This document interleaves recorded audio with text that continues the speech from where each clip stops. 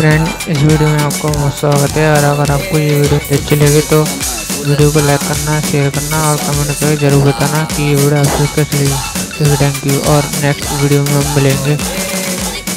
ठीक है thank you